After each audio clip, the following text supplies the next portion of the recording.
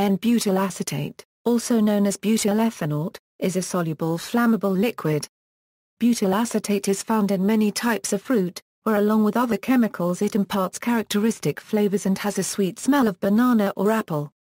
It is used as a synthetic fruit flavoring in foods such as candy, ice cream, cheeses, and baked goods.